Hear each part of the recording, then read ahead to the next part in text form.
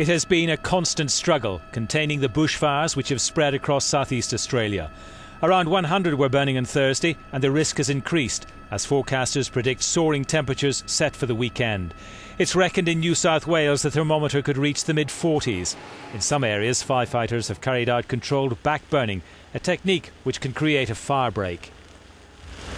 Tomorrow we're looking upwards of 34 degrees in the area and the winds are increasing from the north side of things. Uh, so we are keeping a very close eye on that. Poor visibility and heavy smoke led to one major highway having to be closed, while there were fears the flames could reach a disused army range littered with unexploded bombs. People are on the move from the fires. I don't want to go. I don't want to lose everything, but you could lose your life very easy.